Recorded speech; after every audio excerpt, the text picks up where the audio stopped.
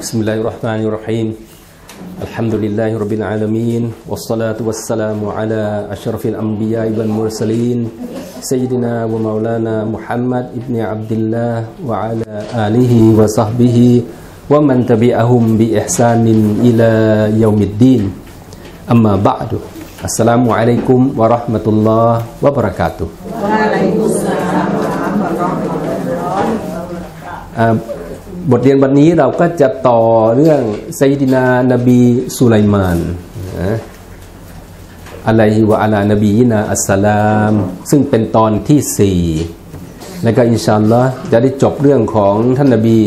สุไลมานในวันนี้แล้วก็จะต่อด้วยไซดินานบีอิลยาสอะลัยฮิวะอะลานบียินาอัสสลาม มันจะเป็นลำดับเป็น sequence เป็นลำดับมาเลยตั้งแต่เราเรียนแต่ อาดัมมาจนถึงตอนนี้ก็นบีสุไลมานแล้ว แล้วก็จะต่อด้วยนบีอิลยาส แต่ระหว่างสุไลมานกับอิลยาสเนี่ยก็จะมีนบีฮิซกียาล ซึ่งไม่ได้ระบุในอัลกุรอาน เราก็จะไม่ได้เรียนไม่ไม่เล่านะครับนบีสุไลมานนี่ก็ตอนนั้นก็ตกครองบัลลังก์แล้วปกครองเรียบร้อยแล้วนี่พอปกครองแล้วครองบัลลังก์แล้วบริหารบ้านเมืองแล้ว ฟื้นฟูศาสนา อัลตลาก็ทรงช่วยเหลือท่านนบีสุไลมาน แล้วก็ให้มุอญิซาตที่เป็นอภินิหารจำเพาะแก่นบีสุไลมานหลายอย่างด้วยกัน ซึ่งวันนี้ก็จะเรียนในเรื่องของอัลตลาทรงให้ให้นบีสุไลมานได้ใช้ประโยชน์จากลม เออพอฟังดูก็ก็ทำให้ได้คิดว่าข้อคิดอันหนึ่งที่กลับไปยังข้อคิดที่ว่า บางที สังคมมุสลิมเรามักจะใช้คำว่ายิวยิวยิวนะ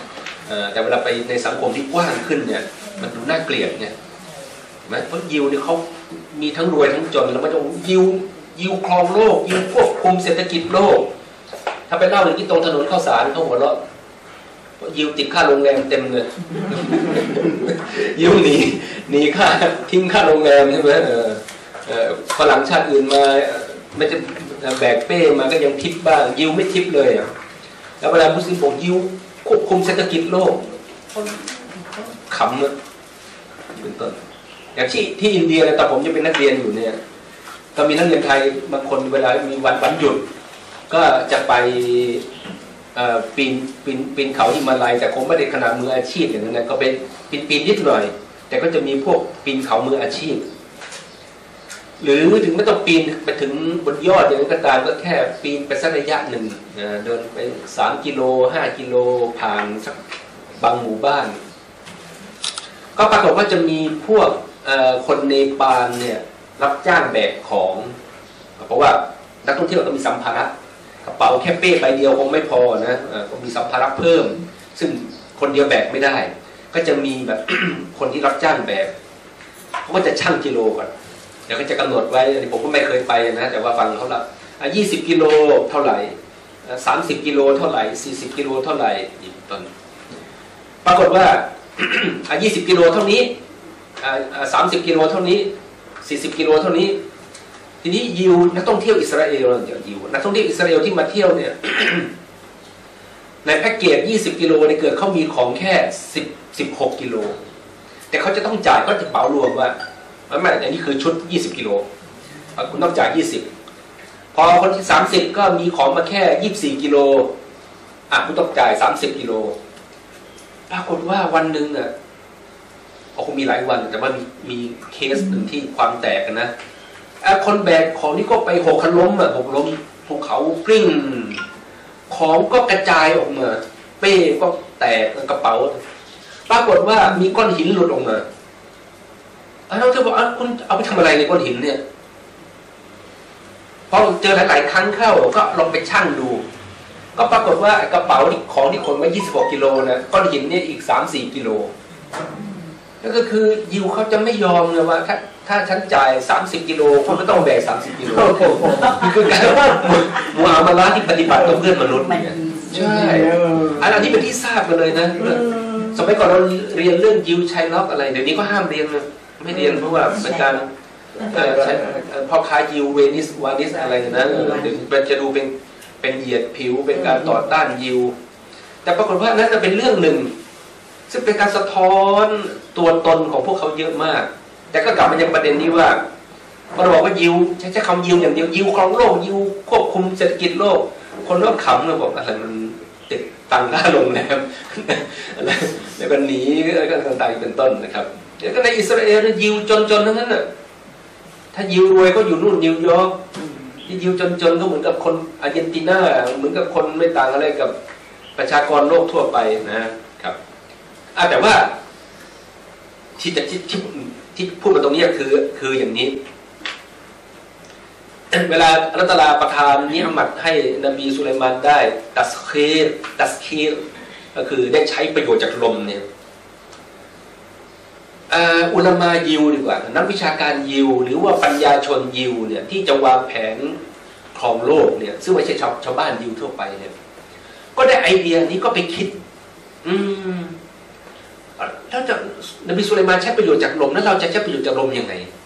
นั่นก็เป็นที่อันประการหนึ่ง ในการที่มาพัฒนาเครื่องบินที่จะให้เครื่องบินบินขึ้นไปโดย โดยเวลาเคลื่อนไปข้างหน้าแล้วเนี่ยก็ทำให้ให้ ไปกดอากาศไปดึงอากาศมามันดันใต้ปีกขึ้นไปอย่างเป็นต้นหรือมาใส่เป็นในยางรถยนต์นะอีกอันหนึ่งก็คือไอเดียที่ได้รับอีกอันหนึ่งก็คือเอเครื่องดื่มในสวรรค์อะไรบางบางคนคงเคยดูหนังเรื่องอ๋อหนังพวกเราไม่ดูนะดูแต่คลิปอาจารย์บรรยายเอาแต่จินตนาการกันแล้วกันนะ ออของจินตนาการ มีหนังเรื่องหนึ่งอะเรื่องไซยิดัติรอบีอะซึ่งเป็นคนซอลิฮะคนซูฟีในประวัติศาสตร์ต้นต้นยุคอิสลามนะครับ ทีนี้ตอนก่อนหน้านั้นน่ะเธอก็ยังมีอาชีพเป็นนักร้องนักร้อง แล้วก็บรรดาเศรษฐีมีเงินก็ เวลาไปออกปิกนิกเขาอาหรับจะไปออกในกระโจมในเต็นท์เนี่ยก็จะว่าจ้างไป เล่นดนตรีเท่าไหร่ จะเต้นกี่เพลงอะไรอย่างเงี้ยนะ แล้วก็สวนเสเฮฮาดื่มเครื่องดื่ม ดื่มวน์ดื่มอะไรกัน ก็ปรากฏว่ามี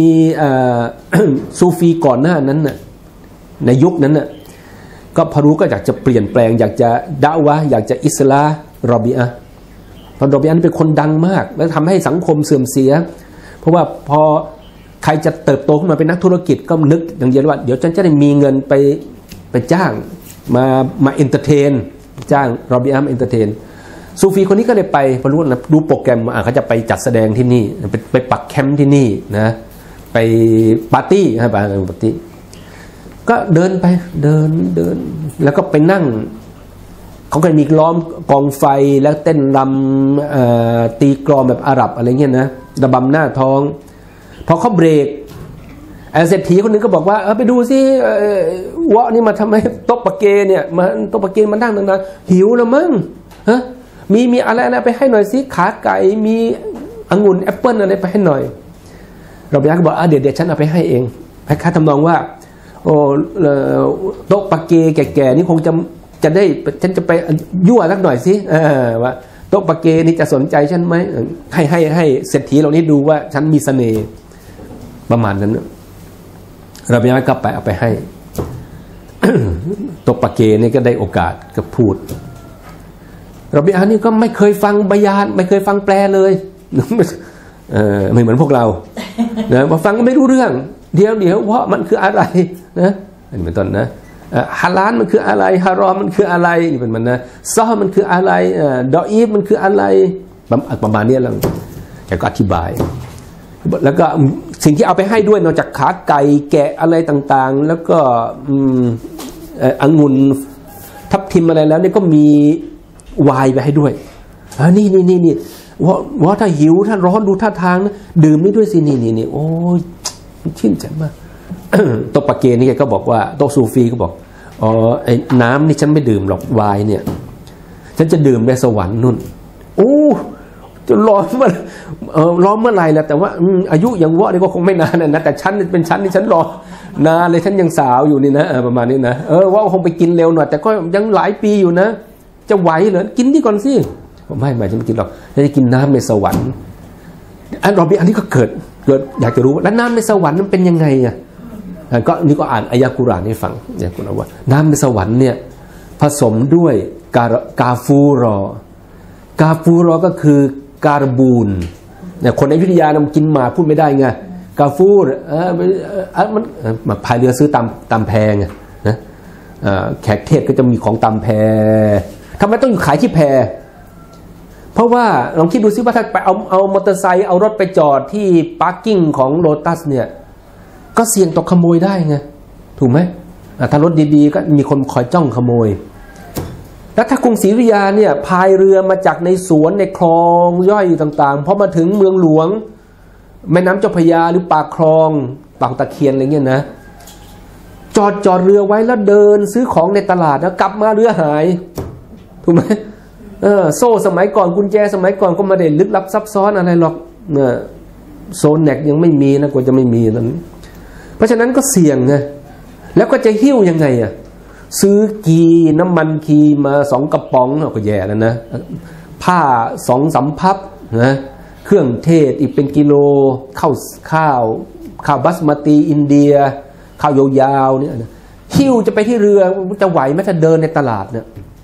เพราะฉะนั้นแต่ว่าถ้าพายออกมาจากสวนออกมาจากนาพายไปแล้วก็แวะะเรือนแพแขกเทศนี้ อันนี้ขายผ้าถัดไปขายอันนี้ผ้าไหม อันนี้ผ้าฝ้าย อันนู้น เครื่องแกงถัดไปนะน้ำหอมอะไรเงี้ยกำยาน อันเนี้ยดีกว่า แล้วก็เรือก็ไม่หาย เรื่องอะไรมาถึงเรื่องนี้ไม่รู้เออลืมไปเลยอะเดี๋ยวค่อยวนกลับมาดีกว่า ไม่รู้มันมันถึงเรื่องนี้ได้ยังไง ผมว่าทำไม่ได้แต่ที่แน่นอนก็คือ เวลาเล่าเรื่องนี้รู้สึกพวกเราตั้งใจเรียนมากกว่านะ อัลตลาก็ทรงให้อากาฟูรเออนะเห็นไหมเรื่องใหม่ๆจำไม่ได้ น้ำที่ผสมด้วยการบูนนี่คนในกรุงศรีอยุธยาเนี่ยมาซื้ออะไรนะไอ้วันก่อนเนี่ยที่ซื้อมาน่ะกาฟูรอะเออเออเอ่อเอ่อแขกเทศก็บอกกาฟูรเขาบอกคนกินหมาอยู่กาโอ้ก็กาบูนกาบูนนั่นแหละการบูนเป็นที่มาอืมทีนี้น้ำน้ำในสวนสวรรค์ที่ใส่กาฟูดหรือว่าการบูนนะ อายิวก็เอาไปผลิตไง อะไรอะเป๊ปซี่โคลาอืมแล้วก็เราไม่มีใครรู้สูตร แล้วก็อาจจะอาจจะเอาการบูนนี้เอาไปเผาที่ดีกรีเท่านู้นองศาเท่านี้ หรือเอาไปเล่นแร่แปรธาตุทางเคมีก็ได้เพราะว่าในนั้นมีส่วนผสมที่ที่เราไม่รู้หลายอย่าง แต่เขาก็ต้องคิดแล้วว่า น้ำในสวนสวรรค์ที่ใส่การบูนเนี่ย จินตนาการก็คือมันคงจะฟู่ขึ้นมาซึ่งซึ่งจริงๆมันอาจจะไม่ใช่ก็ได้ แต่เนี่ยเป็นประเด็นหนึ่งเนี่ยเพราะฉะนั้นต้องเข้าใจว่าเวลาที่มุสลิมพูดเนี่ยว่าว่ายิวขับเคลื่อนโลกมาสู่จุดณจุดนี้เนี่ยมันมีทางเป็นไปได้ ในขณะที่เราเองเราอ่านกุรอานเนี่ยแต่ต่อว่าในยุคยุคกลางเรารุ่งเรืองเฟื่องฟู เป็นนักเคมี เป็นนักอ,อุลามาเราเป็นนักเคมีเป็นนักดาราศาสตร์ นักการแพทย์ แต่ตอนหลังไม่ใช่แล้วไงแต่พอเขาเป็นเนี่ยเขามาดูประเด็นเหล่านี้ แต่เขาไม่ละหมาดเขาไม่สกาดเขาไม่ซิกเกตแต่เขาเอาประเด็นเหล่านี้เอาไปพัฒนาว่าเออ ถ้าอย่างนั้นเราคงจะได้ไปสวรรค์ไม่ได้หรอกยิวคงจะรู้นะเออแต่ว่าถ้ากินน้ำในสวรรค์มันจะเป็นยังไงน้ำที่ใส่การบูนมันต้องน่าจะฟู่ฟ้านะ ก็ไปพัฒนาขึ้นมา ใช่นะอะ วะกัดสักครลลอฮุตบารกวะตะอาลาลินบียิฮิสุไลมานอะลัยฮิสสลามอัรรีฮะ فكانت تنقله إلى أي أطراف الدنيا شاء อ่ะปรากฏว่าอัลลอฮฺตะอาลาทรงให้นบีสุไลมานเนี่ยได้รับประโยชน์จากลม หรือว่าให้ลมมารับใช้ รับใช้ยังไงอ่ะ ให้ลมเนี่ยพานบีสุไลมานเนี่ยไปยังที่ไหนก็ได้ใน มุมใดก็ได้ในดุนยาเนี่ยในโลกนี้ตามแต่ประสงค์อัลลอฮ์แล้วจะไปยังไงอะถ้าไปแบบลมพัดไปอย่างเดียวก็เหมือนกับอธิพายุทอร์นาโดอุ้มคนขึ้นไปไม่ ก็ต้องอุ้มพาหนะขึ้นไป หรือแบกดันพาหนะขึ้นไปแต่พาหนะของนบีสุไลมานนั้นเป็นอย่างไรนะอันนี้อัลลอฮ์ตะอาลาทรงตรัสว่าأعوذ بالله من الشيطان الرجيم فسخرنا له الريح تجري بأمره رخاء حيث أصاب เนี่ยที่พาไปยังแห่งหนตำบลใดก็ได้ ก็ได้ตามที่ที่สุไลมานประสงค์นี้วันนี้จะไปตรวจอะไรจะไปดูอะไรولسليمان الريح عاصفة تجري بأمره إلى الأرض التي باركنا فيها وكناบิกุลลิชัยอินอาอาลิมีนและสำหรับสุไลมานนั้นได้รับมุยีซาดได้รับอภินิหาร ได้รับเนียมัตความโปรดปรานก็คือ เป็นลมที่พัดอย่างแรง ลมที่พัดอย่างแรงหนึ่งประการหนึ่งประการที่สองก็คือลมที่พัดด้วยพลัง ด้วยกำลังมหาศาลมันถึงจะดันอะไรไปได้แบกอะไรไปได้เห็นไหมดูสิเรือเรือเดินสมุทรเรือสำเภาเมื่อตอนร้อยกว่าปีที่แล้วเนี่ยยังใช้ยังใช้ใบกันอยู่ 200 ปีที่แล้วยังใช้ใบกันอยู่ แต่เรือเนี่ยโตขึ้นเรื่อยๆในสมัยกรุงศรีอยุธยาเนี่ย เรือยังลำเล็กอยู่ เรือสำเภานะทำไมทำไมสำเภาเข้ากรุงศรีอยุธยาได้สำเภานี่มาจากยุโรปนะสสำเภาแขกเนี่ยไม่มาสำเภาแขกมามาริดถวาย แล้วก็เอาของลงขึ้นลาขึ้นเกวียนวัว มาจากมริดถวายเนี่ยเข้ามาสุพรรณบุรี แล้วก็มายังแม่น้ำทางเนี่ยเนี่ยเนี่ยสมุทรสมุทรสาครสมุทรสงครามอะไรเนี่ย ไม่มีโควิดตอนนั้นก็มาได้ มาสบายหน่อยนะเพราะฉะนั้นต้องมีเส้นทางโบราณทำไมถึงว่าเมืองมริดถวายสำคัญยังไงสมัยก่อน เป็นเมืองท่าของกรุงศรีอยุธยาเรานึกไม่ออกตอนนี้ไงเพราะตอนนี้เรามีพรมแดน สมัยก่อนพอมีมีพรมแดนก็เหมือนเดินลัดนาน่ะนี่จะเห็นไหมอ่าตรงนี้จะไปบางกอกน้อยลัดไปเดินไป หรือจะนี่จะไปนนทบุรีก็พายเรือไปไปเมืองนนทเมืองนนท์นี่เป็นต้น อันนี้จะข้ามไปฝั่งนู้นใช่ไหมมหานาค เขาสมัยก่อนเขาไม่ต้องนึกถนนไงเขาจะไปที่คลองพายจากนี่เข้าไปนั้นจะพยาไปเข้าคลองอะไรนะจากคลองไม่รู้ผมมาเดานะว่าไม่ได้พายแล้วตอนนี้ ตอนตอนเด็กๆก็พายหมุนไปทั้งคลองเลยอะเรือหมุนไปทั้งคลองหนองจอกเป็นคนหนองจอกแล้วก็เรือเรือเรือหางยาวมาไงโอ้โหนั่นนะขอดูอาตอนนั้นนะขอดูอาเนี่ยหลบได้นะอาจจะพายจนแม่น้ำเจ้าพระยาใช่ไหมไปเข้าบางลำพูบางลำพูก็ไปออก อะไรนะ ป้อมภูเขาทองตอนสะพานผ่านฟารีล่าภูเขาทองแล้วก็เข้าคลองแสนแสบแสนแสบนี่จะไปบ้านดอนจะไปบางกะปิจะไปน้องจอกก็โอเค ประมาณนั้นน่ะเพราะฉะนั้น ก็เรือก็ลมนี้ก็จะพาไปเออหรือสำเภาหรือสำเภาเพราะฉะนั้นกรุงศรีวิทยาเนี่ยสำเภายังไม่ใหญ่มาก เพราะว่าห้าร้อยปี สี่ร้อยปีที่แล้วเนี่ยการต่อเรือนี่ก็ยังเก็บพัฒนาแล้วแต่ยังจำกัดอยู่ แต่พอมาสมัยรัตนโกสินทร์เนี่ยสุนทรภู่สมัยรอสองรอสามเนี่ยฝรั่งเรือใหญ่ขึ้นกรุงศรีกรุงกรุงเทพก็โอเคแล้วเข้ามาได้เห็นไหมแต่ตอนหลังๆเรือจะยิ่งยาวขึ้นใหญ่ขึ้นวันนั้นเราจะจินตนาการว่าเอ๊ะทำไมเรือเข้าไปยังกรุงศรีวิยาไม่เรือสมัยก่อนไม่ได้ยาวขนาดนี้ไงโอเคนะจึงมีตำบลสำเภาล่มอะไรแบบนี้ครับ ราะฉะนั้นปรากฏว่ายังไงนะ ลมที่พัดมาเนี่ยก็พัดในช่วงจะแบ่งเป็นครึ่งครึ่งนะนะลมก็เคลื่อนไปในขาไปช่วงเช้าเนี่ยเรียกว่าถ้าจะจัดโปรแกรมไปเนี่ยก็คือ ลมจะพัดช่วงเช้า ช่วงเช้าเนี่ยพัดอยู่หนึ่งเดือนเรียกว่าจะไปตรวจงาน แล้วก็โอ้โหนบีสุไลมานนี่อาณาจักรกว้างใหญ่ไพศาล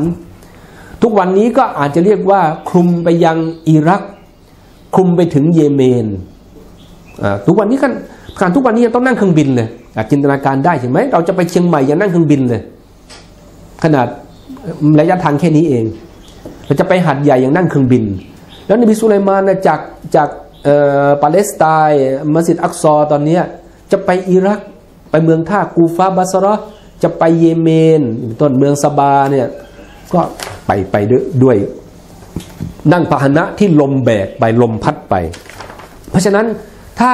ราชสำนักจัดโปรแกรม หรือพระองค์จัดโปรแกรมว่าจะไปทางด้านทิศนี้ไปตรวจทางนี้อาณาจักรหัวเมืองด้านนี้ ก็จะมีตารางเหมือนกับดูทุกวันนี้เครื่องบินก็ยังต้องดูอุตุลมฟ้าอากาศไงแต่เครื่องบินจะบินไม่ได้ช่วงนี้ เพราะจะมีพายุฝนลมแรงเห็นไหม บางทีเครื่องบินบินไม่ได้ ต้องจอดอยู่ตั้งดีเลย์ไปต้องเป็นชั่วโมงสองชั่วโมงนี่เป็นต้นและสมัยก่อนนะเช่นเดียวกัน เพราะฉะนั้นอะก็ต้องจัดโปรแกรมว่าถ้าจะไปตรวจในทิศทางนี้ ลมลมในช่วงเดือนนี้ ขาไปตอนเช้า ไปเป็นยังไงหนึ่งเดือนพอไปตรวจเสร็จแล้วช่วงจะกลับลมที่จะพัดกลับอีกหนึ่งเดือนนะครับนี่เป็นต้น แต่ว่าเหมือนกันเครื่องเที่ยวบินจะมีเที่ยวบินเช้า แล้วก็เที่ยวบินเย็น หรือเที่ยวบินกลางคืนเห็นไหมต้นไหมอะทำไมต้องคนจะไปทำฮัทจะไปอุมร้อทำไมบินกลางคืนเหลือเกินล่ะดึกดึกอันเป็นต้น ก็จะมีเที่ยวบินอะทำไมที่ไปเกาหลีไปอินเดียทำไมเขาบินกลางวันประมาณนี้เป็นต้น เช่นเดียวกัน เพราะฉะนั้นถ้าจะไปถ้าขาไปลมจะพัดช่วงเช้า แล้วพอจะขากลับมาก็ต้องรอไฟไฟไฟเย็นเที่ยวบินเย็นเป็นต้นเพราะทำให้เราได้เห็นว่าแม้ทุกวันนี้การจัดจัดสายการบินเห็นไหมธุรกิจการบินและการบริหารจัดการการบินเนี่ย ก็ยังมีอะไรทำนองนี้เป็นต้นนะแต่ว่าทุกวันนี้อาจจะซับซ้อนมากขึ้นนะครับ ต่อไปก็คือ ต่อไปก็คือแล้วนั่งไปยังไงพาหนะหรือว่าอ่าอ่าอ่าไฟล์ที่จะไปเนี่ยเป็นยังไง ยานพาหนะที่จะไปเป็นยังไง ก็ปรากฏว่าในในอายะกุรอานก็แปลเป็นไทยเลยแล้วกันว่า เป็นเป็น ช้ศัพท์เหมือนอย่างกับว่าเป็นบาซาร์ก็เป็นเป็นแผ่น ซึ่งแผ่นเนี่ยเป็นพรมก็ได้ และแผ่นเนี่ยก็เป็นเหมือนอย่างกับกระดานไม้ กระดานไม้ที่ผูกกัน ผูกกันเป็นแผ่นเหมือนเวทีแต่มีความแข็งแรง เพราะจะต้องนำเอาสเสบียงหรือนำเอาของไปด้วย เช่นถ้าท่านไปที่เมืองนี้ไปด่าวะเขาแล้ว เขารับอิสลามท่านก็จะนำเอาฮัดียะของไปให้เขาด้วย เพราะฉะนั้นพรมของท่านหรือหรือแพรไม้ของท่านเนี่ยที่ผูกเป็นลำยานพาหนะโดยสารเนี่ยก็มีขนาดใหญ่โตพอสมควร แต่ที่สำคัญก็คือ ลมเนี่ยพัดดันจากข้างล่างในในอายะกุรอานนี้สรุปเลยแล้วกันเดี๋ยวเดี๋ยวเวลาเราจะไม่พอนบีอินยาสเห็นไหมอันนี้ก็อยู่ในคิวและจัดลำดับอยู่ เพราะฉะนั้น ก็จะเป็นไอเดียอย่างหนึ่ง ที่มาสู่การการผลิตเครื่องบินในตอนหลังว่า เขาต้องคิดแล้วในอายะกุรอานนี่บอกว่า ลมเนี่ยดันพาหนะนี่ขึ้น ถูกไหมเพราะฉะนั้นแต่ถ้าจินตนาการแบบถ้าฟังง่าย ๆ ก็คือ ลมพัดไปของเป็นแบรนด์เนี่ยลมพัดไปพัดไปจากด้านหลัง แล้วก็จะพัดยังไงอะทางฟิสิกส์ทางกายภาพอะกระดานเป็นแบรนด์ลมจะพัดดันเขาได้ยังไง ต้องมีใบเหรอต้องเป็นเหมือนกับแผ่นเรือใบแล้วบินไปอย่างนี้ใช่ไหมไม่ในอันกุรอานนี่คือมุยิซาตอย่างหนึ่ง นี่คือสิ่งหนึ่งที่ที่ที่ทำให้พิจารณาเห็นถึงความเป็นนั้นอันนั้นอันนั้นอันนั้นกะลามัลลอฮิตวะรตะอาลาฮักกุลกะลามุลลอฮ์เนี่ยเป็นฮักกุล เป็นสัจธรรม เป็นสิ่งที่ท้าทายการพิสูจน์ก็คือ อัตตลาทรงตรัสไว้ว่า ลมเนี่ยดันพาหนะบาซาดดังกล่าวเนี่ยดันจากด้านล่างขึ้นไป โอ้เห็นไหมอันนี้แปลกมากเลย เหมือนกับการขับเคลื่อนของเครื่องบิน ดันจากด้านล่างแต่ว่าเคลื่อนไปข้างหน้าได้ตลอดนะเป็นต้นอ่าต่อไปก็คือ นอกจากนั้นนะมาสู่อีกประเด็นหนึ่งนะเอ่ออัลลอฮฺตลาทรงวามินนิอามัลลอฮิตบารกวะตะอาลาอัลาสุไลมานอะลัยฮิสสลามอันซักรละหูอันยินนะวัลมารดัตชยาตีนนะ ยากูซูนะละหูฟินบิฮาริลิอิสติคราดินจาวาฮิรินวัลอาลีอัลตลาประการต่อไปของเนี่ยมัดก็คือ นอกจากได้ใช้ลมได้แล้วเนี่ยอัลตลาทรงให้สุไลมานนั้นมีทรัพยากรบุคคลนะนี่นี่ประเด็นประเด็นของทรัพยากรมนุษย์และประเด็น HR แล้วโดยทรัพยากรมนุษย์นั้น มีทั้ง ทหารกองทัพหรือว่าข้าราชการที่มีคุณภาพ มีประสิทธิภาพ ประสิทธิภาพเนี่ยนะอันนี้ก็ฝากไว้เลยว่า สังคมมุสลิมเราในปัจจุบันเนี่ยมุ่งเน้นการบยาน เพราะฉะนั้นอย่างเช่นเรื่องความสะอาดเนี่ยเขาบอกว่าเวลาไปส่งคนทำฮัทที่บางจังหวัดเนี่ยเขาก็เอามันต้องเข้าตัวในตัวอาคารแล้ว ตอนนี้ก็มีเต็นท์อยู่ข้างนอก มีปารำอยู่ข้างนอก แล้วก็นั่งรอส่งกัน แต่ทุกคนรู้รู้ว่าความความสะอาดเป็นส่วนหนึ่งของความศรัทธาอย่างนู่นอย่างนี้ แต่ว่าเจ้าหน้าที่ก็จะบ่นเพราะผมมุสลิมกลับไปส่งคนทำฮัทเสร็จแล้ว อะไรต่ออะไรทิ้งเกลื่อนไปหมดเลยไงอะแต่ถ้าคนญี่ปุ่นมาล่ะ ถ้าญี่ปุ่นเขามาส่งลูกหลานไปทำอะไรนี้ใช่ไหมลูกหลานจะมามาเมืองไทยมาทริปการศึกษาเมืองไทยเดือนหนึ่งสามเดือน เอาพ่อแม่มาส่งลง เขาจะเก็บขยะ เขาจะเตรียมถุงพลาสติกก่อนออกจากบ้าน เตรียมไปว่าเดี๋ยวจะไปกินนู่นกินนี่นะเอาใส่ถุงพลาสติกไว้ หรือถ้ามันเป็นอะไรสักอย่างหนึ่งก็เออกำไว้ก่อนนี่เป็นอามานะที่ทิ้งไม่ได้ ที่จะให้ความเดือดร้อนต่อสังคมไม่ได้ต้องกำไว้ก่อน จะต้องแบกรับไปนี่มันเป็นความเสียหายที่เราสร้าง เพราะฉะนั้นเราจะต้องนำมันไปใส่ที่จะเดินข้ามสามไฟแดงก็ต้องต้องกำไปละ เพื่อจะไปทิ้งเป็นต้น เพราะอะไรครับ เพราะเขาไม่ได้บยานไงเขาเทรน อันนี้เป็นส่วนหนึ่งที่โรงเรียนผมผมจะบอกมันมันต้องบยานมาก แต่ต้องเทรนนิ่งใช่นำเอาคำสอนนะคำสอนเขียนไว้ฮะดิษเขียนที่กระดาน อันนี้เอาไปทำก่อน ถ้าอันนี้ยังไม่ผ่านยังไม่ต้องบยานเรื่องอื่นทำนี่ให้ครบก่อนนี่เป็นต้นนี่คือลักษณะแล้วก็เราก็คิดว่าประสบความสำเร็จ เราเริ่มเห็นความเปลี่ยนแปลงในลูกหลานมุสลิมในระดับหนึ่งเพราะฉะนั้น หนึ่งก็คืออัตราทรงให้มีเนียมันในประการประการต่อไปก็คือ ให้มีทรัพยากรบุคคล ซึ่งเป็นข้าราชการและเป็นทหารที่มีคุณภาพนะฝึกฝนอย่างดี นอกจากนั้นแล้วก็ยังมีทรัพยากรบุคคลที่เป็นยินมนุษย์สมมติตัวตัวอย่างนะ ตอนนี้ประเทศไทยพอจินตนาการได้ว่าเราเรานี่สามารถพัฒนาศักยภาพเศรษฐกิจของประเทศเนี่ย โดยได้รับประโยชน์จากเพื่อนบ้านนะมีแรงงานเพื่อนบ้านมา ไม่ว่าจะเป็นพม่าเป็นเขมรเป็นลาวเนี่ยมาช่วยพัฒนาและขับเคลื่อนเศรษฐกิจไทยเห็นไหมเดี๋ยวว่าจะขับเคลื่อนเลย ทุกวันนี้ผมถ้าไม่ได้ทำกับข้าวที่บ้านออกมาทานกับข้าวต้นต้นตนต้นรามินทานะกิโลสองเนี่ยมีร้านอาหารมุสลิม ปรากฏว่าตอนนี้ต้องไปกินผัดกะเพราก็ดีเอ่อราดหน้าก็ดีเนี่ย กินฝีมือพม่า เออเชฟเป็นพม่า เจ้าของที่เป็นฝีมือพ่อครัวขมกกันนะ ตอนนี้ไม่แล้วเดินบริหารเดินสั่งอย่างเดียวเดินรับคำสั่งออเดอร์ เอากินอะไรเอาอะไรอ่าอย่างเดียว แต่พม่าผัดพม่าทำแล้วก็ใช้ได้เหมือนเหมือนไทยตอนนี้อเช่นเดียวกันที่ที่พูดตรงที่ว่าประเทศเราก้าวหน้าไปได้โดยใช้แรงงานเพื่อนบ้าน แต่เป็นคนด้วยกันไงเป็นลูกหลานอาดัมเหมือนกัน แต่นอกจากนั้นนบีสุไลมานยังได้รับแรงงานไม่ใช่ไม่ใช่ต่างชาติ ไม่ใช่ต่างด้าว แต่เป็นแรงงานที่ไม่ใช่มนุษย์คือยินอ่าเป็นยินกลุ่มยินนะนะครับแล้วนอกจากยินยังมีว่ามารดาตชยาตีนมารดาคืออะไร มารดาคือยักษ์โอ้ยินกลุ่มหนึ่งแล้ว ยินเนี่ยอาจจะปรากฏรูปเห็นไหมเป็นอะไรก็ได้ เป็นเสือเห็นไหมเป็นควายเป็นเอ่อเคป๊อปนักร้องเกาหลีทำไมเห็นหลานดูใช่ไหมโอเคเอ่ออะไรเป็นต้นนั้นนับแต่นะก็แต่ว่ายักษ์ในอีกกลุ่มหนึ่ง ก็จะมียินที่เป็นยักษ์ยินชัยตอน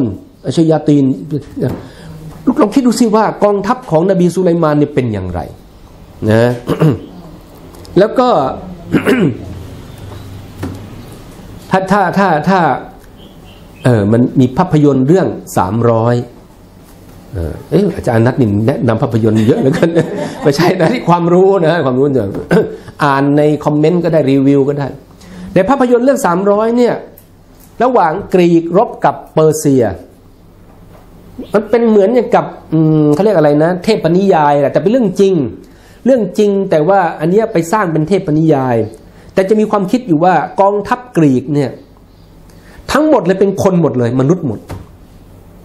แม้แต่คนที่ทรยศยอมขายความลับให้พวกเปอร์เซียเนี่ย ก็เป็นมนุษย์เป็นคน แต่พอไปดูฝ่ายกองทัพเปอร์เซีย กษัตริย์เปอร์เซียที่ยกกองทัพมาเนี่ย มีทั้งทหารที่เป็นมนุษย์ และทหารที่เป็นอมนุษย์ เป็นยักษ์ เป็นมารเป็นยิน เพราะฉะนั้น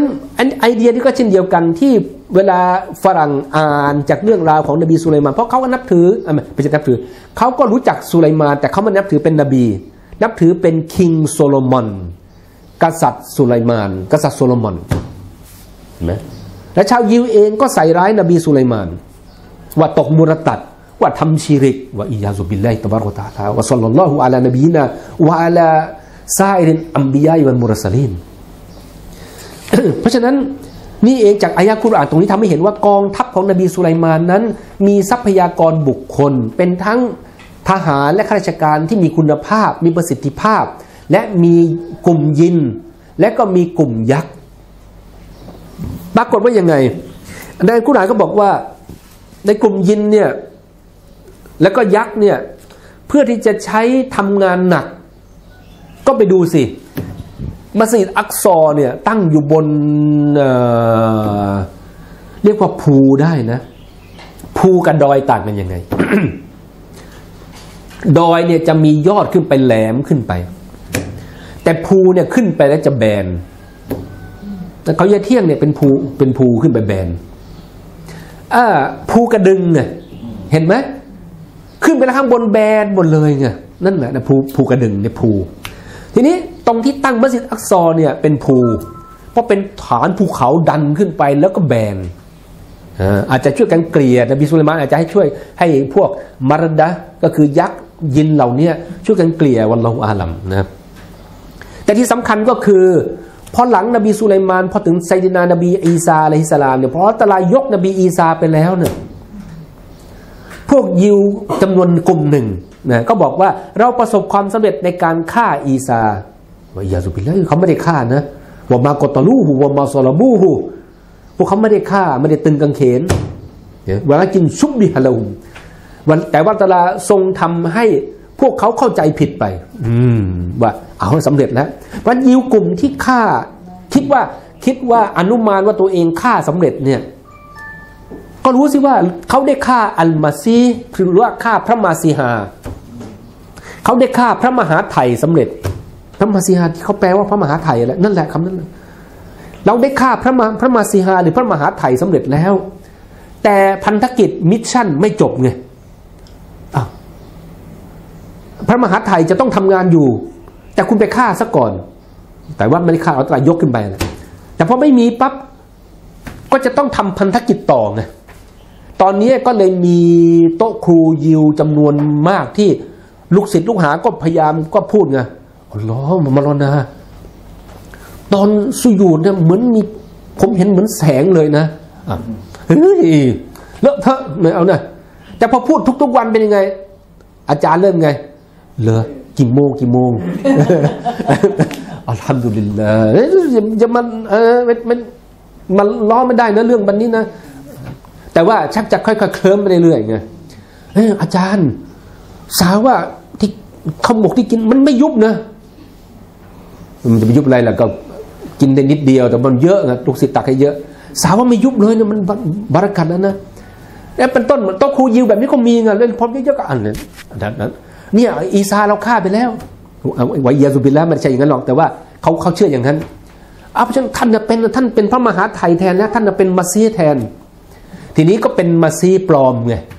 พอเป็นมาซีปลอมก็พอลูกศิษย์เรื่อยๆก็ต้องแสดงอภินิหารน่ะและแอบรรดาหางเครื่องอะหรือว่าแกนนำก็ไปไปไปไปหลอกคนอื่นอีกว่าทำแล้วอ่ามีมีมุญยิสานไหมมีแล้วมันไม่เห็นเหรอเอาไม่ดูทันดูดูพอเป็นนี้ปั๊บก็มีคนหลั่งไหลมาเชื่อเยอะขึ้นทีนี้ก็ไม่ได้แล้วสิลงลงจากหลังเสือไม่ได้แล้ว อ้าวนานแล้วนี่กี่ปีแล้วเนี่ยต้องสู้กับโรมัน ไหนนะที่ว่าขอรัตลาให้ธรณีสูบโรมันไปเลยอ้าวไม่ได้แล้วสิต้องทำแล้วสิมันชักเยอะขึ้นนานแล้วเสียงเรียกร้องนี่ม็อบเยอะแล้วเนี่ยม็อบอยู่นอกบัลแลเยอะเลยนี่ไม่ได้แล้วเนี่ยพอทำเป็นยังไงโรมันก็ปราบ ตอนแรกก็ยึดอย่างโรมันได้ ตอนหลังโรมันก็ปราบพอปราบตอนนี้ก็ต้องหนีเสียกรุงเยรูซาเล็มหนีไปอยู่นอกเมืองไปอยู่ที่ภูเหมือนกัน ข้างบนสูงขึ้นไปเป็น เจ็ดแปดร้อยเมตร ใช่คิดว่าปลอดภัยแล้วแหละหรือว่าหวังความช่วยเหลือว่ามาลาอิกาจะได้ลงมาง่ายหน่อย ไปอยู่ที่นั่น ตั้งค่ายบนนั้นนะอันมาชิมาซาดาเนี่ยถ้าจำไม่ผิดนะแต่ปรากฏว่า พวกโรมันบุกมาทำลายกรุงเยรูซาเล็ม แล้วก็เผาทำลายมัสยิดอักซอเผาทำลายเตารอด เผาทำลายซาบูรอินอินอินยีน แล้วก็เผาทำลายหนังสือบันทึกสายสกุลของพวกยิว แล้วก็สั่งให้บัญชาให้ติตุสจักรพรรดิติตุส บัญชาให้รื้อสุเหราทั้งหมดลง ไม่ให้เหลือเลยแม้แต่หินก้อนเดียว อิฐแม้แต่ก้อนเดียว แต่ปรากฏว่ายังไงกำเห็นไหมกำแพงที่ยิวไปยืนร้องไห้น่ะเป็นกำแพงนบีสุไลมานเหลืออยู่ ด้านที่เป็นโรงม้าของสุไลมาน ทำไมเหลืออยู่ล่ะ เพราะว่าหินแต่ละก้อนน่ะโตกว่าโต๊ะตัวนี้ แล้วก็เรียงไว้สูงเป็นหน้าผาเลย แล้วคุณจะรื้ออยังไง หรือว่ารื้อน่ะพอเป็นไปได้ แต่คุณจะต้องเอาทรัพยากรมนุษย์มารื้อกำแพงเนี่ยไปอีก 28 ปีอะแล้วอาณาจักรมีภารกิจต้องทำอะไรเยอะแยะ ก็เลยทิ้งไว้บอกมันไม่มันไม่เป็นตึกแล้วมันเป็นกำแพงที่ที่ที่เรียกว่าบังหน้าผาไว้ ปล่อยไว้งั้น นั่นแหละเป็นกำไปดูได้กำแพงร้องไห้อะไรเขายืน นั่นเป็นกำแพงที่เหลือของนบีสุไลมานและและเป็นสักขีพยานถึงความยิ่งใหญ่ของของอิสลามแต่เดิมภายภายใต้การที่เป็นอุมมัตที่เป็นชาติพันธุ์ยิวเป็นต้น พวกเขาจึงไปร้องไห้ที่กำแพงนั้น แต่นี่แหละ จึงกล่าวได้ว่าคนจะไปไหวขนหินมาอย่างนั้นไหม มันน่าจะเกินศักยภาพมนุษย์ที่ว่าขนหินมาก้อนนึงเรียกว่าประหนึ่งครึ่งหนึ่งของตู้คอนเทนเนอร์อย่างนี้ดีกว่าอ่าแล้วเรียงขึ้นไปสูงเท่ากับตึกอย่างกับตึก 20 ชั้นน่ะตึก 11 ชั้นนี่เป็นต้นหมายถึง 20 ชั้นน่ะสิกว่าชั้น 10 ชั้น หรือ 8 ชั้นเนี่ยด้วยเหตุนี้เองจึงจึงกลับมาจะมายืนยันในอายะกุรอานที่ว่า ท่านได้ใช้ประโยชน์จากมนุษย์ ที่มีศักยภาพ ยินและมารดะก็คือยักษ์นี่เป็นต้นนะครับ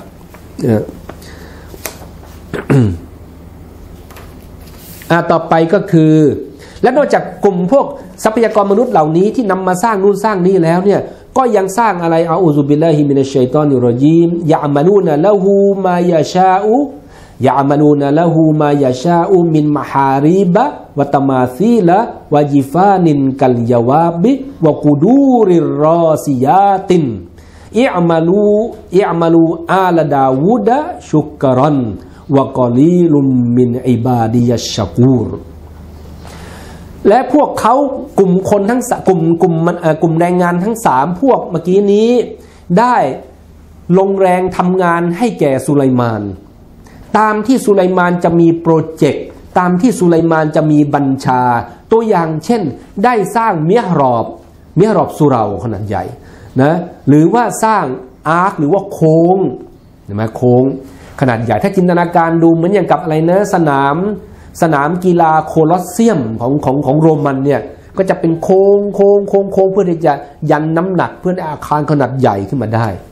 เพราะฉะนั้นอาคารของมัสยิดอักซอ ซึ่งเป็น complex ขนาดใหญ่อย่างกับที่เราเห็นมัสยิดมัสยิดมัสยิดฮารอมตอนนี้แหละ นั่นแหละ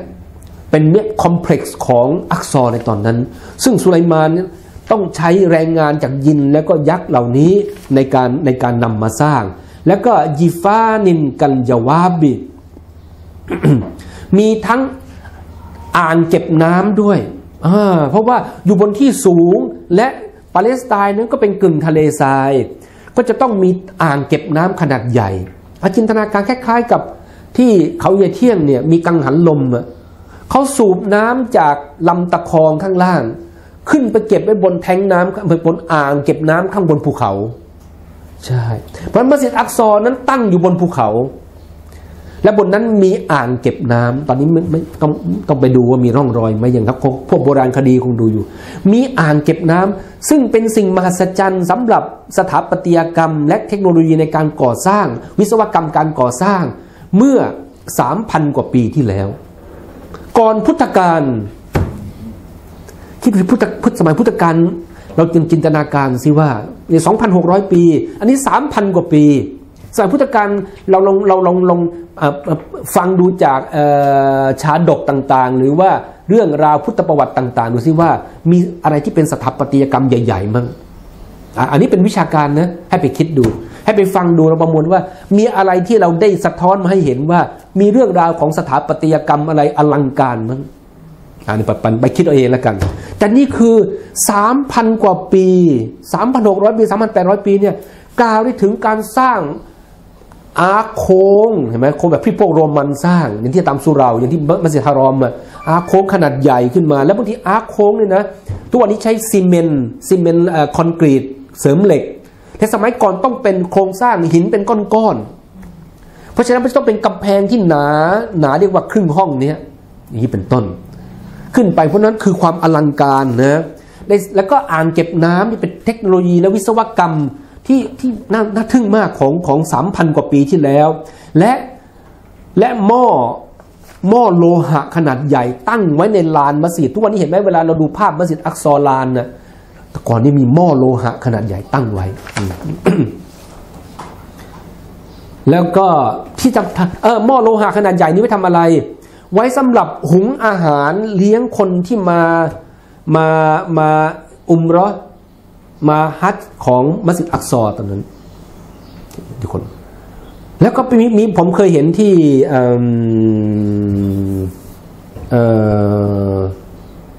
อัจมีรเมืองอัจมีรในอินเดีย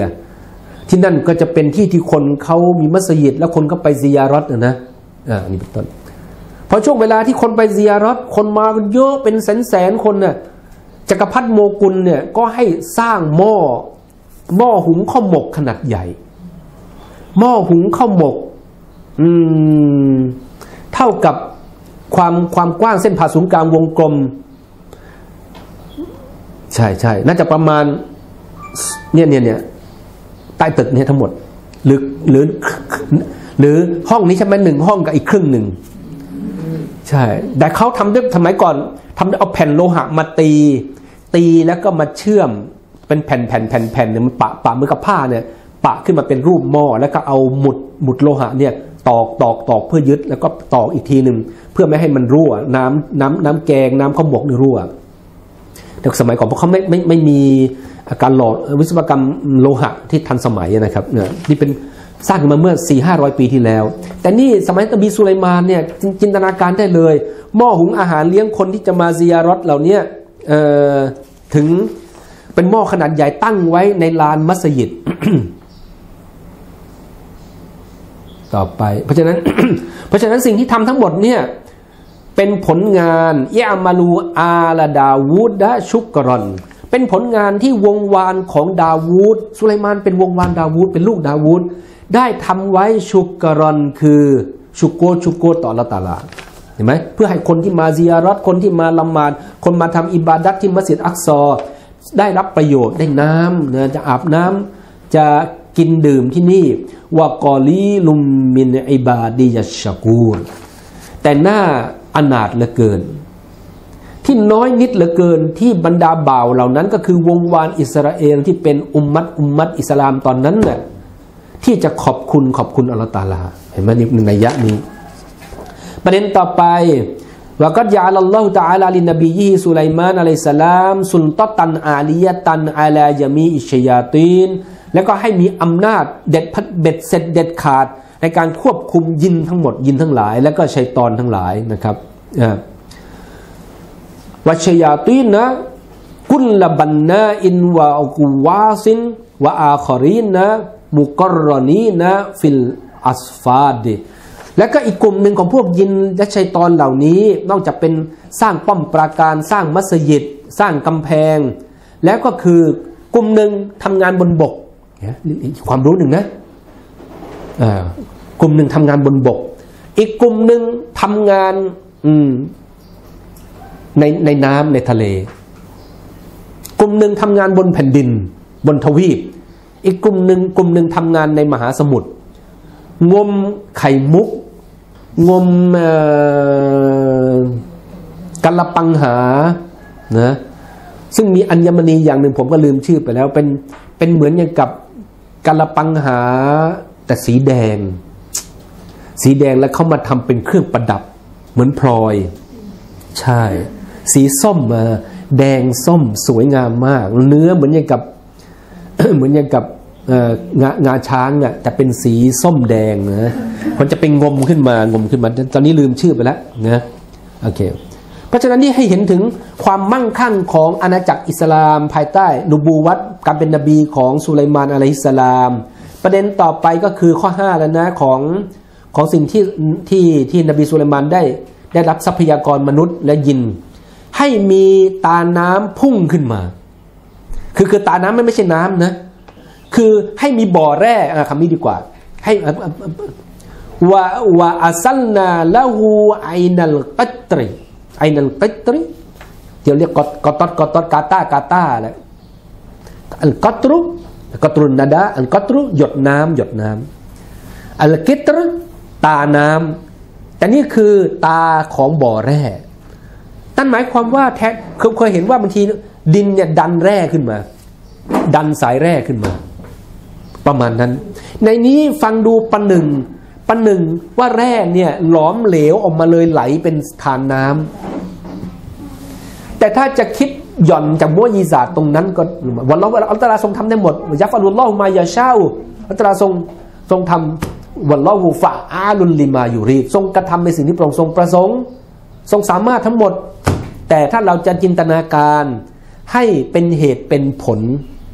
เราก็จะจินตนาการได้ว่าบางทีเนี่ยนะข้างล่างดินยังหลอมเหลวอยู่จากความร้อนน่ะนี่ไงที่ว่าทำไมแร่แร่ไหลออกมาเป็นน้ำได้ ก็เพราะว่า เพราะว่าข้างล่างหลอมเหลวเหมือนกับที่ลาวาไหลขึ้นมา เพราะฉะนั้นก็จะดันดันแร่ทองแดงเนี่ยให้ไหลขึ้นมา พราะฉะนั้นมันพอขึ้นมาปั๊บก็จะเย็นลงก็จะแข็งตัว แต่ตอนขึ้นมาก็ยังเป็นเหมือนอย่างกับเป็นเป็นโครนแดง เป็นเป็นโลหะหลอมอยู่ว่าเราเป็นไปได้นี่อย่างนะโอเคนะทำให้เราได้รับอีกความรู้หนึ่งนะ แต่ว่าบ่อนี่อยู่ที่ไหนนะไอนักเกตตไอนักเกตตบ่อเอ่อบ่อแร่เนี่ยที่ดินลาวาดันดันแร่ทองแดงไหลขึ้นมาเนี่ยอยู่ที่เยเมน อืมนี่เห็นไหมภูมิศาสตร์หลายอย่างนะ ถ้าถ้าถ้าเราจะจัดเอ่อทำแผนที่ขึ้นมาว่าประวัติท่านนบีสุไลมานเนี่ยถ้าหากว่ามัสยิดจะจัดงานนะนักเรียนชั้นนี้ทำกิจกรรมได้เลย ถ้าไม่ลืมซะก่อนนะ หรือสมุดหายใช่ไหมเอออัลลอฮ์หลานเอาไปวาดการ์ตูนฉีกไปไหนหมดแล้ว จดฉันจดหมดแล้วแต่ว่าหายไปไหนไม่รู้ มันก็สามารถจะอาสาทำกิจกรรมได้ ของการเรียนของอองานประจำปีนะ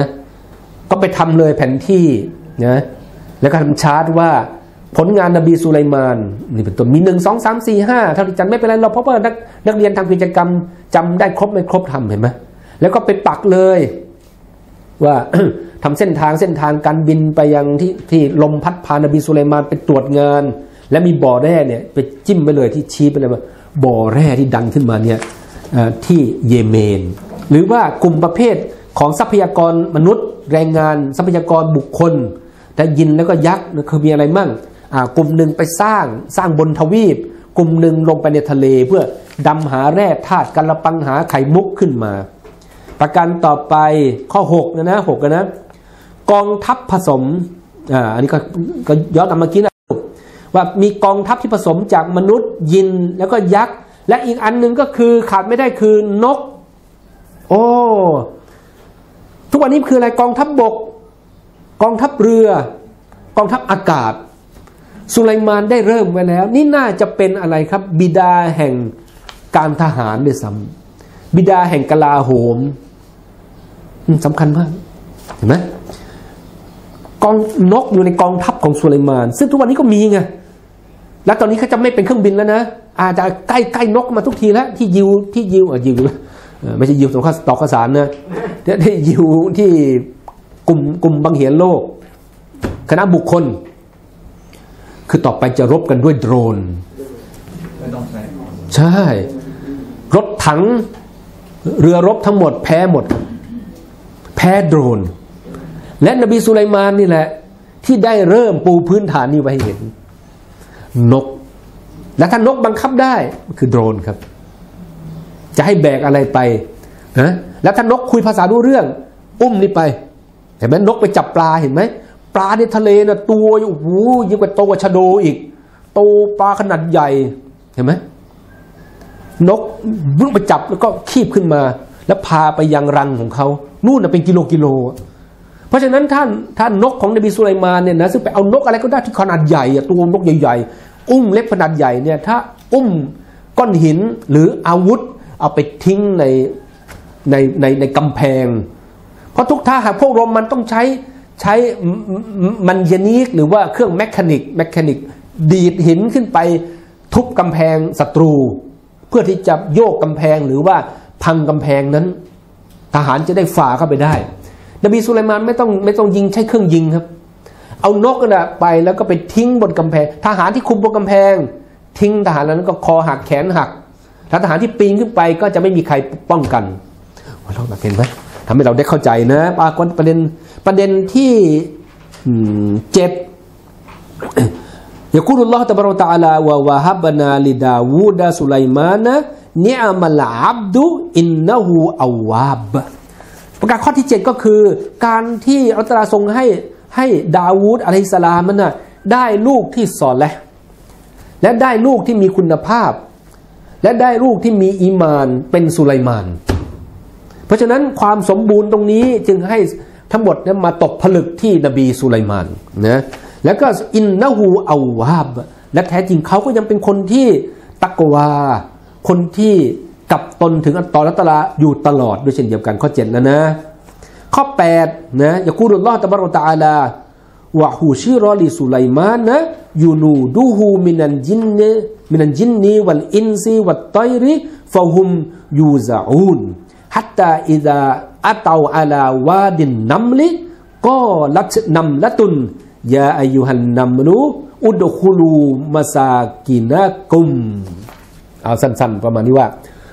นอกจากมีกองทัพมนุษย์มันกองทัพยินกองทัพยักษ์และต่าง ๆ แล้วที่มาจากชัยตอนแล้วอัลตลาก็ยังให้นบีสุไลมานนั้น รู้ภาษาของสัตว์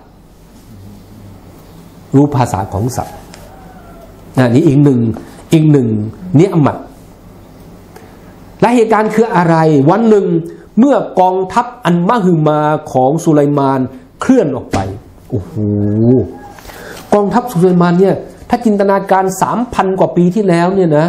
กว่าจะเคลื่อนออกจากมัสยิดอักซอมันนั้นมีมันพระราชวังเขายุดอยู่ด้วย เคลื่อนออกจากกรุงเยรูซาเล็ม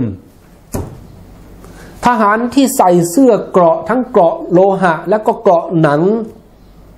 ที่มีคุณภาพ และยังประกอบด้วยทหารที่มาจากประประเทศสหราชเออ มีทหารเยเมน ทหารอิรักทหารอัสซีเรียน ซีเรียทหารอะไรต่างๆ และยังมีหมู่ยินหมู่ยักษ์ต่างๆ เพียบพร้อมอยู่ และเวลากองทัพเคลื่อนไปยังไงนอกจากธงหอกที่แห่แหนแล้วก็เครื่องยศที่แบกไปแล้วเนี่ยเขาจะทำตราเครื่องยศแบกไปแล้วอลังการแล้ว บนกองทัพนั้นยังมีนกบินอยู่ด้วยแหมอย่างกับสวนสนามเลยเห็นไหม วันสวนสนามเนี่ยจะมีข้างล่างเห็นไหมรถถังวิ่งอยู่รถยันเกราะ ทหารพาเรดถ้าเป็นวันสวนสนามวันชาติอินเดียก็มีกองทัพอูดกองทัพม้ากองทัพอะไรต่ออะไร ข้างบนก็มีเครื่องบินบิน โปรยปลายอะไรรุ้งสีนี่เป็นต้น กองทัพสุไลมานอย่างนั้นเลยแหละจินตนาการได้หรือว่า นอกจากสิ่งที่ขับเคลื่อนตีกองเป่าแตรต่าง ๆ อยู่ข้างล่างแล้วนะ ข้างบนฝูงนกต่าง ๆ ยังบินอยู่ได้ยินเสียงบุบบุบบุบบุบบุบไม่มีความอลังการในกองทัพของกษัตริย์ หรือจักรพรรดิใดแบบนี้เป็นต้นและโลกได้เห็นสิ่งนี้ ลูกหลานอาดัมได้เห็นสิ่งตั้งแต่สามพันกว่าปีที่แล้ว และเพิ่งจะมาเห็นในสมัยที่มีเครื่องบินตอนนี้แหละครับนี่นี่คือความยิ่งใหญ่นะอะทีนี้กองทัพมีเวลาเคลื่อนไปเนี่ยโอ้โหปัตตภีสั่นสะเทือนเลื่อนลั่นไปหมด ปัตตภีสั่นสะเทือนเลื่อนลั่นไปหมด จนกระทั่งเคลื่อนพลผ่านหุบเขาโอ้ในแถวแถวปาเลสไตน์แถวจอร์แดน แถวอียิปต์นั้นหุบเขาเยอะ ผ่านหุบเขาหนึ่ง ซึ่งเรียกว่าวาในกุรอานใช้คำว่าวาดินนัมเลยหุบเขาที่เต็มไปด้วยมด เป็นที่อยู่เขาอาจจะเห็นไหมบางทีที่แอฟริกานะตัวอะไรหล่นหลุดเข้าไปตายเลยครับ เพราะว่าอะไรมดจะเข้ามากัดกินนะมดใหญ่ที่ในในมันที่บางประเภทนะนะกัดกินไก่หรือว่ากวางหรือว่าหมูป่าหมดเลย กัดกินหมด แต่นี่คือหุบจะเป็นมดแบบไหนวันลองวาลัมจะเป็นหุบเขาที่เต็มเต็มที่อยู่ของมด พอแผ่นดินสะเทือนเลื่อนลั่นเนี่ย มดก็พูดขึ้นว่า หัวหน้ามดก็พูดว่าอายุหันน้ำลู มดทั้งหลาย ประชาชาติมดมดทั้งหลายเหมือนกับถ้าเป็นคนก็มีเป่านกหวีดอะไรต่างๆเอามาใช้ไมโครโฟน เอาฟังฟังก่อนฟังก่อนพวกเรา ตอนนี้สุไลมานเคลื่อนพลมาแล้ว พวกเจ้าทั้งหมดที่กำลังอยู่บนดินเนี่ยคาบนู่นคาบนี่อะไรเนี่ยนะ ลงไปให้หมด ลงไปในรังใต้ดินดวน ประกาศดวนประกาศดวนเหมือนอย่างกับถ้าเป็นถ้ามีเครื่องบินเออสมัยก่อนจะอะไรนะทิ้งระเบิดก็ปะเปิด สันไซเรนนะนะ ฝูงมดก็รีบเลยทิ้งเมล็ดพืชเมล็ดผักทิ้งอะไรหนอนตะกะแตนที่คาบอยู่ พากันรีบลงไปยังรังใต้ดินกันหมด นบีสุไลมานนั้นนั่งอยู่ในราชยานหรือว่าในราชรถที่เคลื่อนไปด้วยลม หรือเคลื่อนไปด้วยคนอะไรกันแล้ววันละวอาลัมแต่บางคนก็บอกนี่แหละ เป็นที่มาในการใช้ยางรถยนต์ที่อัดลมเข้าไปข้างในเนี่ยเคลื่อนมาเนี่ยซึ่งปลำใหญ่มาก เต็มไปด้วยอะไรข้าราชบริพารที่จะที่ปรึกษาอะไรต่าง ๆ หรือว่าหัวหน้ายินตัวแทนยินสุไลมานคนอื่นไม่มีใครรู้เรื่องไม่มีใครได้ยิน เสียงก็ไม่ได้ยินต้องเข้าใจนะอาจารย์ทรงให้เป็นมุญิศาสตร์เนี่ยซึ่งก็เหมือนกับว่าเราไม่ได้ยินเสียงของคนในกูโบถูกไหม แต่ว่าอย่างอื่นได้ยินไงสิ่งอื่นมัคโลกอื่นได้ยิน เช่นเดียวกันอาจารย์ทรงให้สุไลมานได้ยิน จะบอกบอกว่าเนี่ยคนที่เอทิสหรือคนที่ไม่เชื่อศาสนา หรือว่าฝรั่งที่มีศาสนา แต่มองว่าอิสลามเนี่ยเป็นเรื่องโกหก ก็จะบอกวันทีว่าดูสิมุฮัมมุฮัมมัดสลลัลลอฮุอะลัยฮิวะสัลลัมเนี่ยกล่าวในกุรอานได้ยังไง เขาคิดอย่างนั้น ว่าสุไลมานได้ยินเสียงนก ไอ้ได้ยินเสียงมด จะจะได้ยินยังไงอะขนาดดิสเทนระยะห่างนกร้องตรงนู้นตรงนี้เราไม่ได้ยินเลย แล้วนี่มดมดมีเสียงเหรออะว่าไปอีก มดมีมีลิ้นมีกล่องเสียงออกพรรณนาไปเรื่อย แล้วคนที่อ่อนศรัทธาก็บอก เออนไหมใช่ดีอิสลามบกพร่อง มดไม่ได้มีกล่องเสียงว่าเราอาลัมเนี่ยผมก็ไม่รู้นะ แต่เขามีการสื่อสารใช่ไหมมดมีการสื่อสารมดเจอกันแล้วสลามมันตลอดสลามสลามก่อนต่อกันตลอดเลยนะโอเค แต่ไม่ต้องไปนั่งตอบสลามมดนะ ผมเห็นในเฟซน่ะเขียนไปถามอาจารย์ อัสสลามุอะลัยกุมอาจารย์ค่ะเออคือที่บ้านหนูเนี่ยมีแมวอยู่ แล้วเวลาจำไม่ได้ละใครน้องสาวกลับมา หรือว่าลูกสาวกลับมา ลูกสาวก็จะให้สลามเราด้วย สลามอะลัยกุมครับคุณแม่สลามอะลัยกุมคุณยาย แล้วก็อัสสลามุอะลัยกุมอ่าแมวชื่ออะไรอะเออใบเฟิร์นตัวเนี้ยอันนึงไม่ออกอะชื่อนะตอนนี้อัสสลามุอะลัยกุมใบเฟิร์นแล้วก็ถามอาจารย์ว่าเราวาจิบจะต้องตอบสลามนี้ด้วยไหมอ๋อโหบทจะเคร่งอะนะ โอ้โห เคร่งในหมดเลยทุกเรื่องเลยมันตรงนั้นนะ ให้สลามแมวยังเรายังต้องเป็นวาจิบเลยเนี่ยแล้วหนูถ้าหนูไม่ให้เนี่ยนะหนูจะบาปไหมอัลลอฮฺตะอืมเนี่ยแล้วก็ให้กับอุมอุมมาตุนแมวนะให้กับไม่ได้กับอุมมัดคนนะให้กับอุมมัดแมวนะก็อาจจะเป็นอีกข้อหนึ่งที่จะว่าอุโซรไม่ต้องไม่ต้องไปรับก็ได้วันลอฮุอาลัมอ้าวเพราะฉะนั้นถ้าจะคนไม่เชื่อก็จะบอกว่าไง โอ้ยโกหกเพ ใช่ไหมจะมดจะมีเสียงอะไรยังไงก็ว่าไปตามเรื่องแต่ละภาษาของมดเนี่ยนบีสุไลมานได้ยิน แล้วก็ฟัตบัสซัมาดอให้กัน นบีสุไลมานก็นั่งยิ้มอยู่คนเดียว อืม นั่งขำมดไงถูกไหมอาข้าราชบริพารก็คงจะถามแหละเออไม่ไม่ไม่ใช่มหาบพิษไม่ใช่เออพระพระองค์ทรงขำอะไรพระยาครับ พวกพวกเรามีอะไรบกพร่องเหรอที่ให้ขำก็เป็นที่มาที่ทราบว่านบีสุไลมาน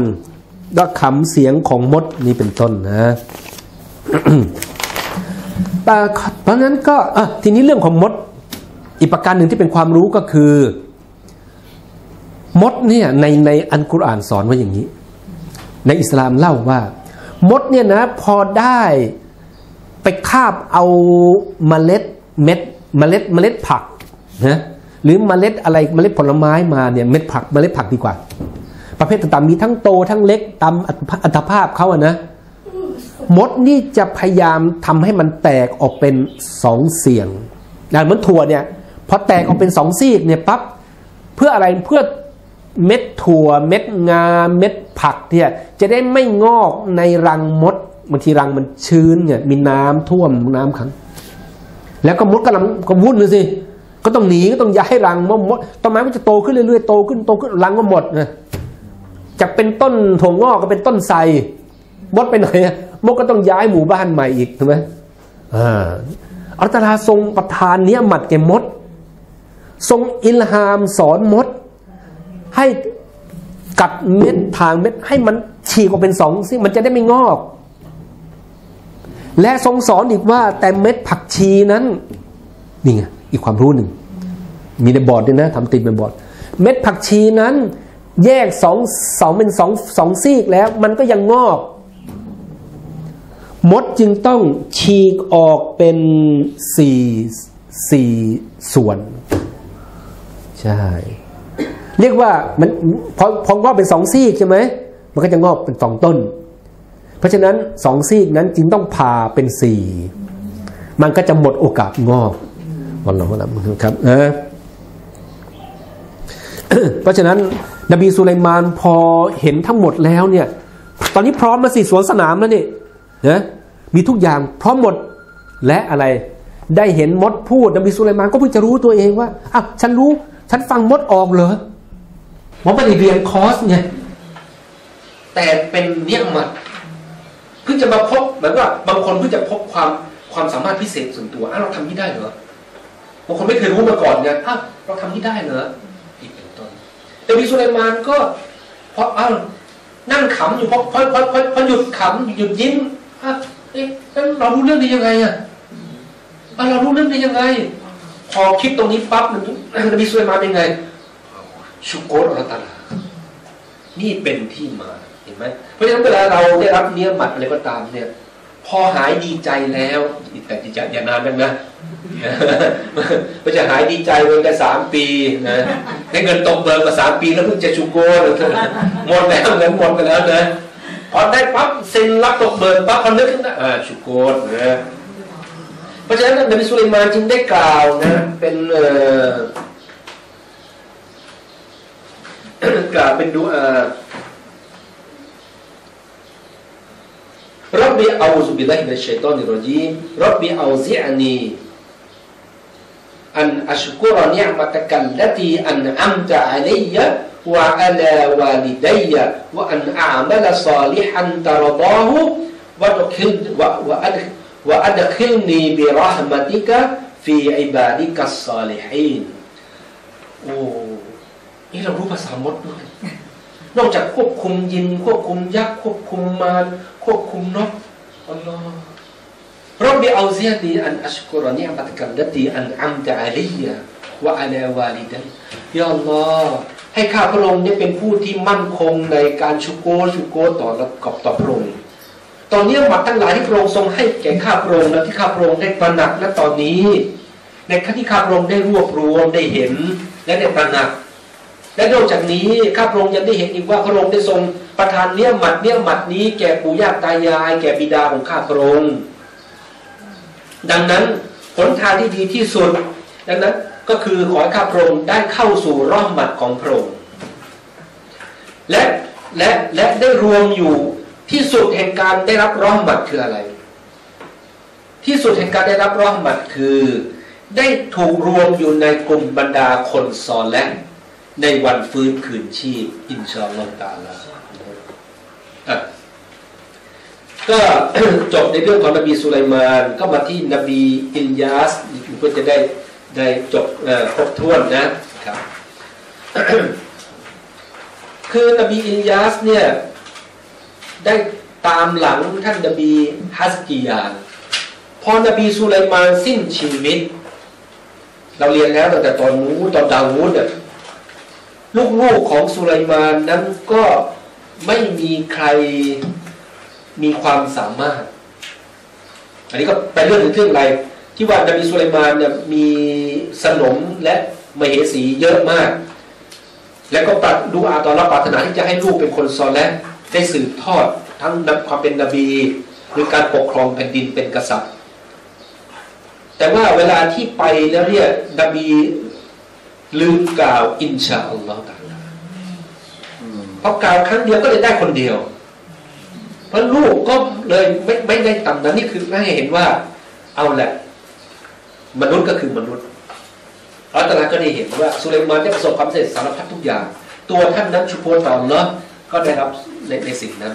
แต่ทุกคนไม่ได้ได้ตามที่ตัวเองประสงค์ทั้งหมดนะมือนกันดีมูฮัมมัดสุลลัลลอฮุอะลัยฮิวะสัลลัมเนี่ยท่านก็ต้องนึกถึงปู่ย่าตายายท่าน ในเมื่อท่านสามารถนำคนในอุมมัตเนี่ยรอดพ้นจากนรกได้ด้วยชาฟาอัตของท่าน แต่ว่าคนก่อนหน้าที่ท่านจะเป็นนบีล่ะ เห็นไหมบางคนก็จะมีบางอย่างเป็นข้อจำกัด และเนี่ยเป็นวิธีดุนยาเห็นไหมที่เราต้องได้ได้ได้ข้อคิดในวันนี้อะเพราะฉะนั้นพอสุไลมานสิ้นสุไลมานอะลัยสลาม อาณาจักรก็ล่มทันทีเพราะอะไรลูกๆแล้วก็แย่งสมบัติกัน ก็เราเรียนแล้วแบ่งเป็นอาณาจักรเหนือและอาณาจักรใต้ อาณาจักรเหนือคืออิสราเอล อาณาจักรใต้คือยาฮูดา ที่เราเรียกยาฮูดยาฮูดทุกวันนี้แหละ เราเรียกจากอาณาจักรใต้ และอาณาจักรเหนือนั้นพอแยกไปแล้ว อาณาจักรเหนือไม่มีมัสยิดอักษรเพราะมัสยิดต้องอยู่ที่ที่ที่พื้นที่เดียว พอแยกพรมแดนกันแล้วมัสอาณาจักรเหนือไม่มีอักษรแล้วคนในอาณาจักรเหนือจะมาทำฮัจญ์ยังไง จะมาอุมเราะห์ยังไงไม่ได้วีซ่งวีซ่าสมัยนี้ก็คงลำบากคงจะคงจะคุยไม่รู้เรื่อง ยิ่งยิ่งไม่มีไม่มีธรรมาภิบาลนะไม่ใช่แล้วก็อาณาจักรเหนือจะเป็นยังไง ก็เลยต้องทำมัสยิดตัวเอง อุลามาอุลามามัสยิดอุลามาอาณาจักรใต้ก็เลยฟัตวาว่าต้องมุตัด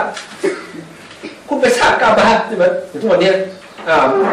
ซาอุดิอาระเบียไม่ให้บรรลุประเทศนี้ตัดสัมพันธ์ทางการทูตประเทศนี้ ประเทศนี้สร้างบรรทุลตัวเองอ่าตกมุตัดนี่ประมาณนั้นเพราะอาณาจักรเหนือก็ตกมุตัดฟัตวาพ้นตกมุตัดแต่คนทั้งหมดจะตกมุตัดหรือไม่วันเราว่าอะไรนะแต่ในที่สุดเนี่ยเราก็ได้เรียนเรียนรู้แล้วว่า พอพวกเขาห่างเหินห่างเหินไปสักระยะหนึ่งเนี่ยอุลุลามาก็อ่อนแอลงใช่ไหมรับใช้กษัตริย์